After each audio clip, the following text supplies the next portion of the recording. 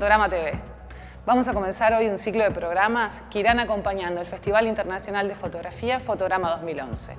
Es coproducido por TV Ciudad y el Centro de Fotografía. Ahora estamos en el Museo de las Migraciones y vamos a conversar con Daniel Sosa, organizador del festival, y con la historiadora Alexandra Novo.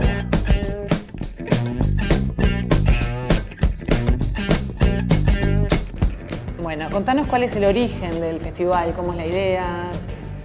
Sí, dentro del desarrollo del Centro de Fotografía comenzamos a ver que era necesario, tomando experiencias de otros países, ver la posibilidad de generar un festival de fotografía internacional aquí en Uruguay. La intención de generar un encuentro de esta naturaleza tiene, tiene varias, varias puntas. Una de ellas es tratar de generar un intercambio y una visibilidad interna de los distintos autores y actores que, que trabajan sobre la fotografía y que ese intercambio sea enriquecedor para todos. O sea, estamos viendo que por distintas razones, pese a ser un país muy chico, eh, había distintos circuitos o distintos eh, subgrupos o subgéneros de la fotografía que no se tocaban entre sí y la forma que nos parecía adecuada para lograr ese intercambio era crear un encuentro de esta naturaleza.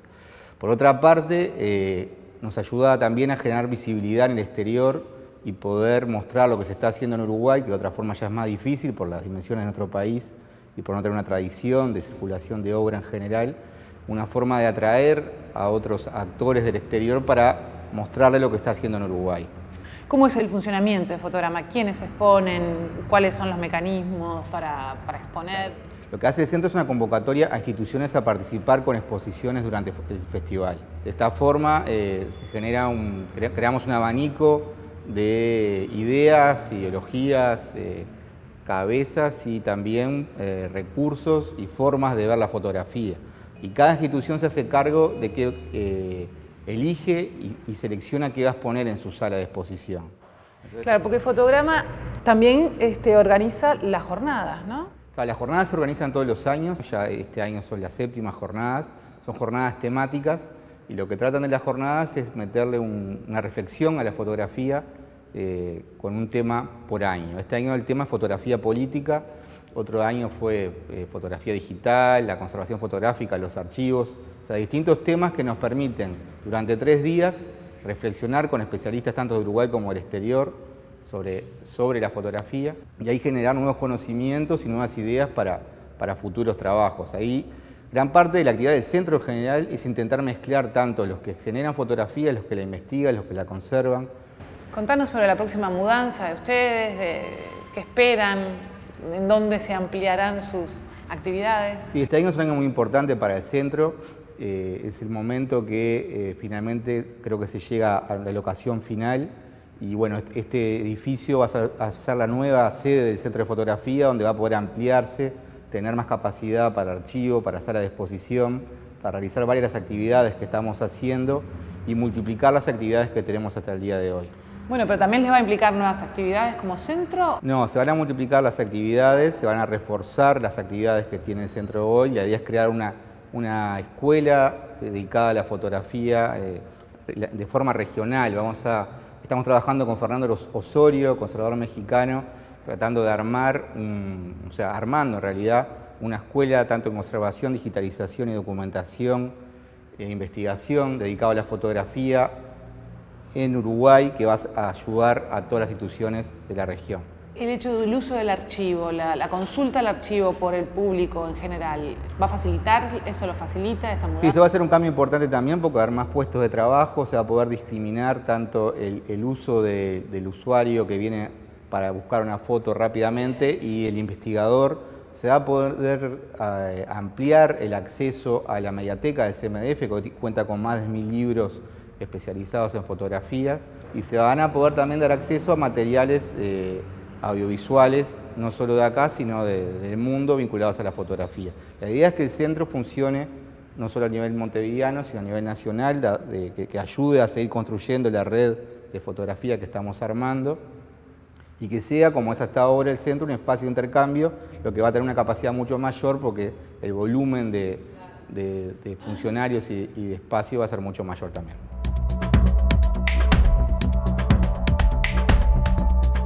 Hablarnos un poco de la, evolución de, fotograma, tres ediciones. Bien, en la primera convocatoria, cuando se planificó el festival, bueno, no, sabíamos con certeza qué nivel de convocatoria íbamos a tener. En realidad era bueno, un incentivo para empezar a, promover más dinamismo en el ámbito de la fotografía, generar instancias de organización, tanto las instituciones como los fotógrafos. Y bueno, al principio ya la primera convocatoria en el 2007, como decía, fue bastante buena. Tuvimos participación no solo de escuelas, de, o sea, de fotógrafos eh, independientes, de escuelas de Montevideo, sino también del interior. Y también convocamos y recibimos propuestas del exterior, así que tuvimos este, un panorama bastante, bastante amplio. Y así llegamos a Fotograma 11, en realidad con un nivel de convocatoria muy amplio, que cada vez, ya te digo, desde el, desde el 2007 hasta ahora fue ampliándose y diversificándose. Y lo que creo que también pasó es que cada vez los fotógrafos y las fotógrafas van animándose a presentarse, este, capaz que en el primer momento se sentían un poco inhibidos o estaban viendo, bueno, de qué venía el tema con, fotograma, qué tipo de, propuestas se podían presentar o qué, trayectoria había que tener para mostrar los trabajos.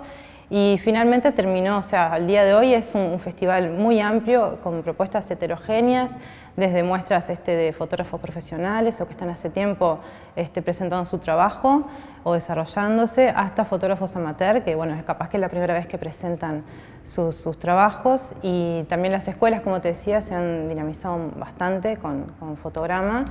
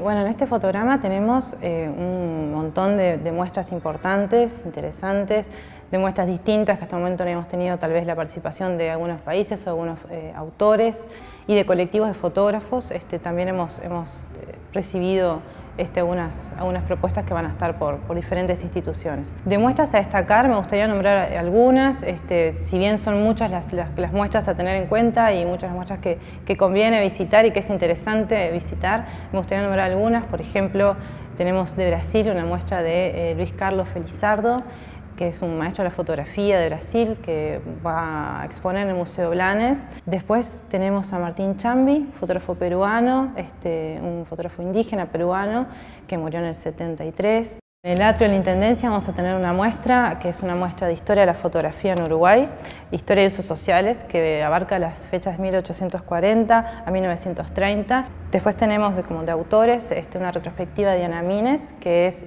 la misma muestra que Diana eh, presentó en el Museo Figari luego de ser este, homenajeada y cuando una vez que obtuvo el premio Figari. Las muestras inaugurales que va a haber en el subte, esas muestras son, son diversas, es de, fotografía y arte contemporáneo, este, van a estar este, un colectivo de, diversos artistas y fotógrafos y también va a estar eh, Manuel Bazón. Y bueno, ahí vas a ver un movimiento muy interesante a ese nivel, ¿no? Fotografía más vinculada con lo que es la, investigación este, artística, la instalación, o sea que, también es una muestra que conviene tener en cuenta para, visitar. El Instituto Escuela de Bellas Artes también va a participar de fotograma con diferentes intervenciones urbanas, sobre todo, diferentes colectivos de estudiantes que van a hacer este, diferentes acciones en la ciudad Después tenemos en Marte Centro Cultural, va a haber un grupo de artistas que se dicen que son artistas este, que trabajan con fotografía pero no son fotógrafos. También esta institución este, va a ser un aporte valioso en ese sentido. Y después tenemos a Magela Ferrero, de CCE, que Magela presentó su trabajo en la Bienal de Venecia, fue invitada a participar allí el año, este año. Y después tenemos eh, dos muestras de colectivas, una de fotografía contemporánea chilena y otra de cooperativa sub de Argentina, que es fotoperiodismo. Y ahí tenemos también trabajo este, por ese lado, por una tradición de, de, de fotoreportaje. Así que el panorama es diverso, es heterogéneo, te nombré algunas, va a haber un montón en realidad, este, va a haber una guía que va a estar como una herramienta para poder ir, este, que cada uno vaya eh, marcándose las muestras que más le interesa. Yo señalé algunas que, bueno, que, que se debería tener en cuenta, pero va a haber muchas más.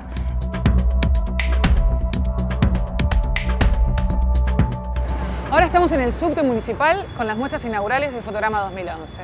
Estaremos conversando con el director artístico del subte y en este caso también curador de la muestra Memoria Fotográfica, Santiago Tabela.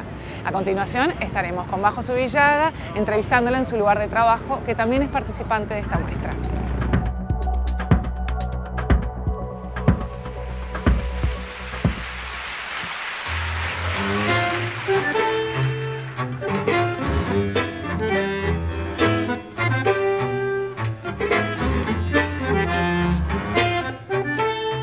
Santiago, es la tercera vez que el subte participa en Fotograma y en las tres oportunidades eras el director artístico, ¿no? Sí, y me parecía una, siempre me pareció una, iniciativa muy buena, este, entre otras cosas porque con, con lo que participamos en Fotograma, este, de repente no siempre tenía que ver específicamente con, la fotografía de, fotografías puestas en, una pared, sino que, por ejemplo, cuando participamos con, con Inclemencia del Tiempo, era una muestra de videos en las cuales había eh, artistas que trabajaban con la fotografía, que habían fotosecuencias, pero básicamente era una, era, era una muestra de video este, y me gustaba e, esa actitud de, hacer un, evento que tiene que ver con la fotografía, pero que no está restringido a específicamente la fotografía como, como la entiende más o menos cualquier persona, que es, ah, bueno, vamos a ver una muestra de fotos, este, sino que la fotografía pensada eh, también desde un punto de vista teórico y desde el punto de vista de otros, de otros abordajes, que es un poco lo que, lo que estamos desarrollando en este momento. ¿no?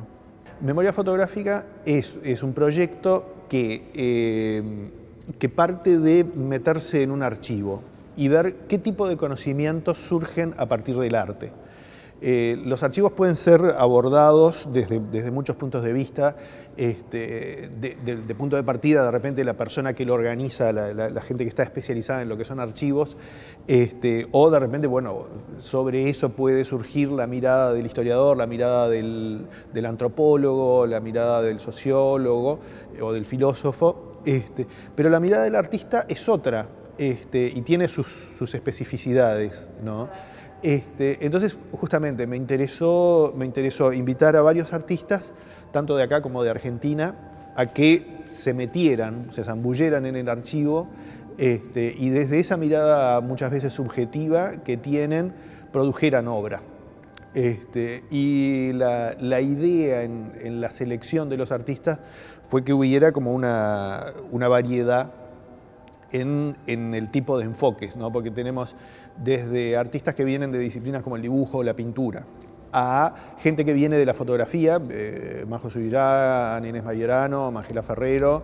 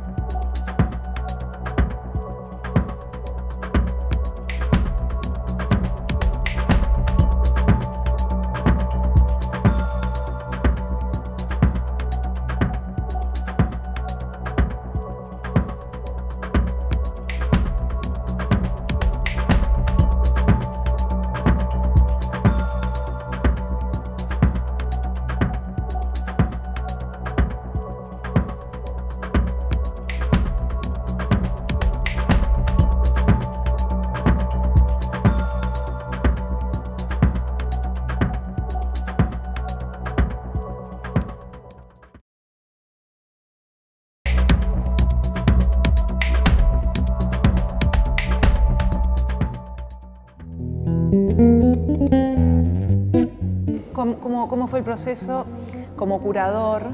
Que no sos el único en esta muestra, tenés dos invitados más. Ajá, sí. Yo tenía la idea de, desarrollar esa muestra, este, tenía pensados más o menos los artistas, pero me pareció súper interesante este, a raíz de una experiencia en la que me invitó Patricia Jaquín, que es una de las curadoras invitadas, este, en Argentina, que me invitó a, en un proceso de curaduría de ella, a que yo participara en un momento, a, que hacer una reunión con los artistas que estaban trabajando en eso y que yo les hiciera una devolución, así, en paracaídas. Llego y digo, ah, no, a mí me parece que esto así, bien de atrevido, ¿no? Este, y también la, otra persona que está participando en eso, que es, que es este, Verónica Cordeiro, en la misma, en la misma calidad de, digamos, de curadora invitada, no sé si es una curadora invitada o qué, pero me parece un lindo nombre.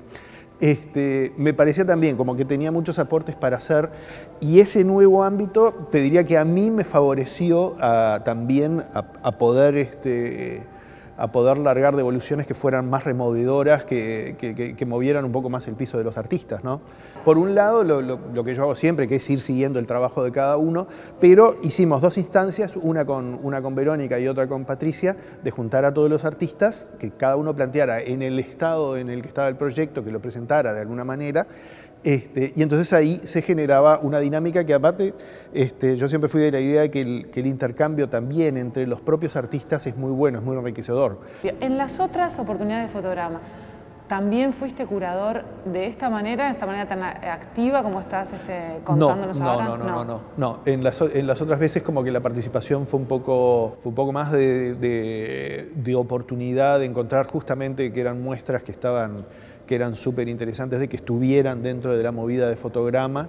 Este, y en la muestra Inclemencias del Tiempo, eh, el curador era Alphonse Hu, que es uno de los curadores internacionales que está haciendo cosas en este momento. Santiago, ¿hasta cuándo va esta muestra? Esto va todo hasta el 23 de octubre, junto con otras dos muestras, que son este, Diario de un retrato, que es un proyecto de Diego Didar, Martín Herrera y Verónica Cordeiro, y después hay otra muestra más, en nuestra, en nuestra sala XXS, que es la sala más chiquita de Montevideo. Y la, eh, muestra de ella es una muestra acerca de fotografía estenopeica, que es la, fotografía esa que se hace con una cajita, que le haces un agujerito, este, y que es un proceso muy, muy interesante que hizo Alejandra Marín con gente que está en la cárcel y cómo ese proceso de, eh, en, el que se palpa esa cosa, eh, uno de repente está muy acostumbrado a sacar la foto y ya la baja en la computadora o la mandabas a revelar, no entendías muy bien cómo era esa cuestión de la cámara. Eh, ahora, cuando llevas esa experiencia a la cajita de cartón con el pinchazo y el... Ya ahí como, como que empezás a tomar contacto con, con una realidad de que ves todo el proceso, cómo finalmente sale a luz esa, esa imagen que vos de alguna manera elegiste.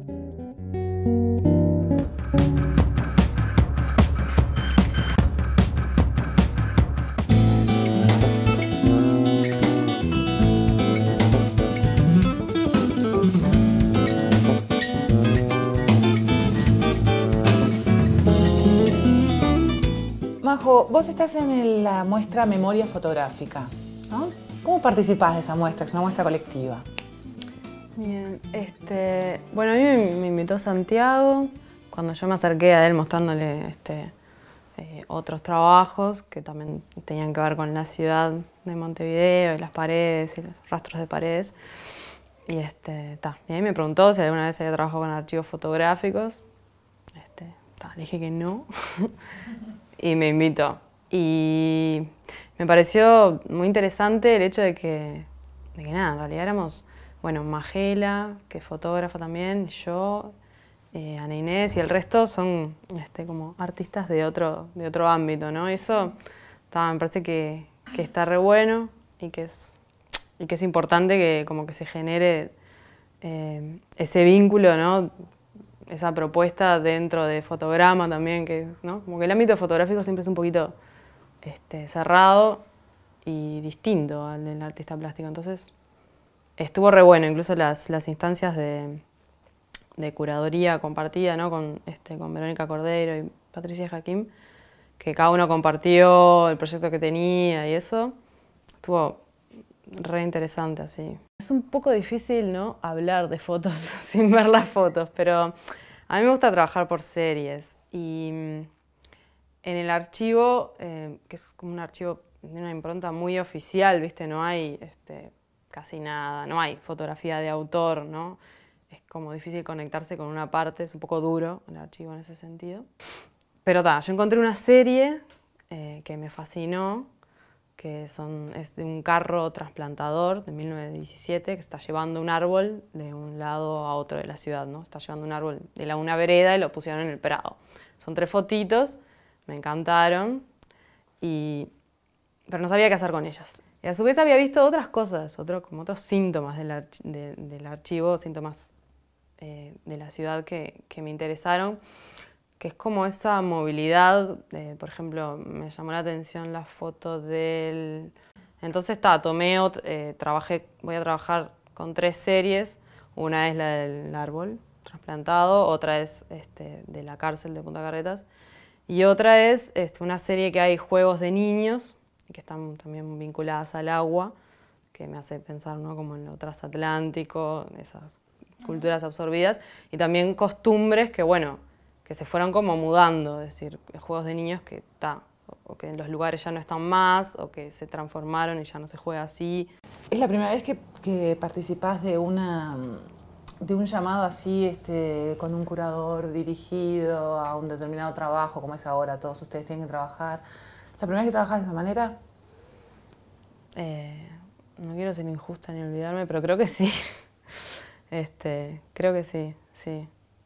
Sí, en general, mi experiencia con, este, como con el mundo fotográfico es mucho más individual, es un proceso mucho más individual. El fotógrafo siempre está como, no sé, más solo desde, todo, ¿no? Desde, desde, las tomas hasta como los procesos, o sea...